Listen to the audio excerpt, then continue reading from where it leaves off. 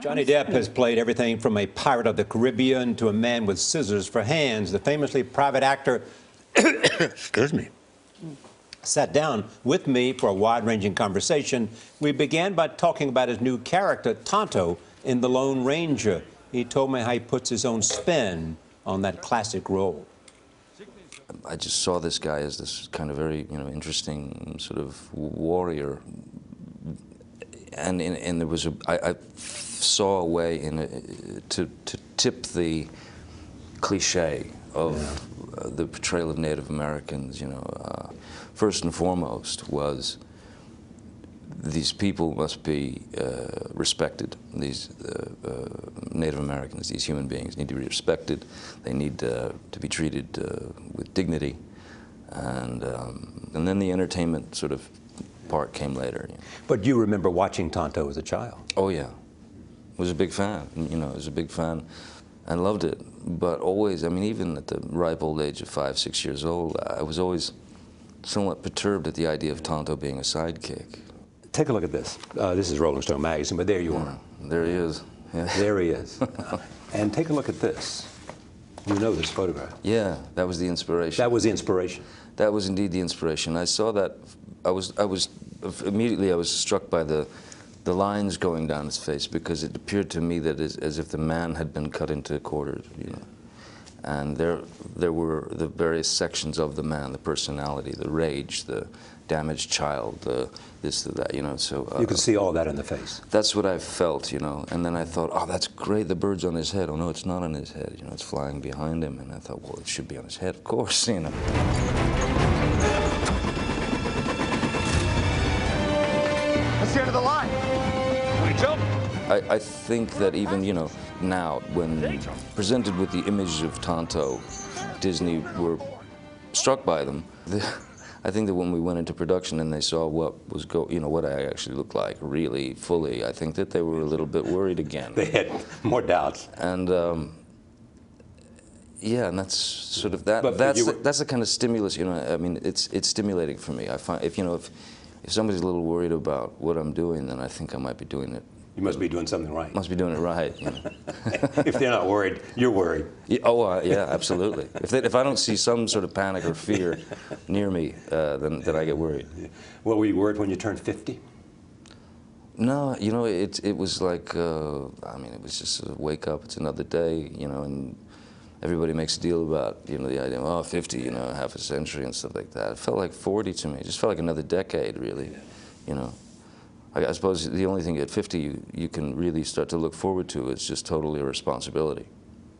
Irresponsibility or responsibility? Total, total irresponsibility. Yeah. Yeah. As you get older, you know, you can just sit in a chair, can't you? You can wear anything you want.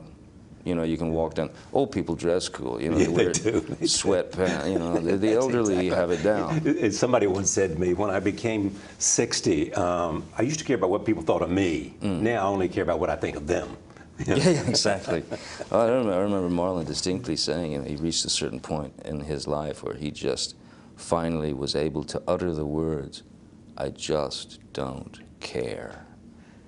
And the way he said it to me was, it was like a, you know, it, it was as if he had attained nirvana. He worried a little bit about you working too hard. Yeah, He said, He he said, he said what? he said, he said, uh, how many films do you do a year? And I said, uh, I don't know, it depends, you know, maybe three. He said, too much. I said, what do you mean too much? He said, we only have so many faces in our pockets. You know, and I thought, You got it. It makes sense, man. Like, Yeah. you know, you run out of characters. Are you still learning about acting? Oh, I think you learn every time out of the gate. I think that's the, I think that's the thrilling thing about the process is that every time you're out there and you give it a shot, you know, with a character that might make people a little nervous initially, especially people with wa- their wallets involved. The process itself is is a gas, uh, uh, and you're out there trying to do something different each time because each try each time you try something different, you're stretching you're stretching out a bit. I knew you'd warm up to me.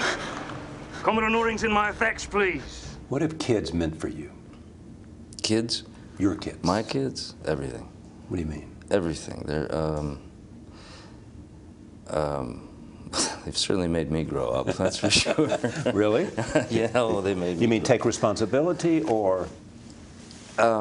Well, no, just as they, as the, as they you know sort of progress throughout life, you know, and my son, my boy Jack, is now 11. Uh, my daughter Lily Rose is 14. You know, you start getting hit with some very interesting situations in life. You know, as a parent, uh, when when they when they approach that teenage arena, which is frightening because you still have memories of that age and the things that you might have been doing at that age. So, um, yeah, no, you can. And you lay awake thinking, God, I hope they don't do what I did. oh God, I don't, yeah, but please don't do what I did. Yeah, but I mean, really, you could explain and talk to them, and, and you know, the split from their mother, and and having to come, which is always unpleasant, regardless of what happens. Always, always. But they, I mean, the, my my kids um, and Vanessa, by the way, you know, I mean, we'd arrived at a place, as people do. When you have children, there's just no room for lies. There's no room for um, anything but the truth. It's not a- anything other than that is a bad example, I believe. Uh, so we were just very truthful with them, and they were incredibly understanding, incredibly accepting. I was um, extremely proud of them, you know, the way they dealt with it. Music too. Yeah. Music is what you wanted to be. It was, it still is my life. Uh, It always was. Uh, it's just, I just don't do it for a living anymore, you know. It's my natural habitat, really, you know, is to, is to have a guitar strapped to me. Yeah, but when you played, you you didn't want to be the vocalist. You wanted to be the I man to in the shadows. I want to, exactly. when I was, you know, playing clubs at, you know, 15, 16, 17 years old, even then, I was, uh, you know, trying to stay out of the lights. you know, tried to stay in the darkness and, uh, and just play my guitar. Now, is any of that still part of who you are? The sense of Most definitely. really. The idea of being that lead singer, you know, of being the front man, to me, when you're in a, a group or a band, is is is is. a- a- So, so you'd rather be Keith than Mick. Uh, I'd rather be Keith than Mick, indeed. Yeah, that's, that's yeah. that's what it boils down to. no disrespect, Mick. None, none whatsoever. exactly. None whatsoever. It, it, be a good vocalist is fine with me. I just want to be back there. Great, I can't do that. Don't want to. Yeah. So look ahead at 50 to what you where the priorities are. What are they?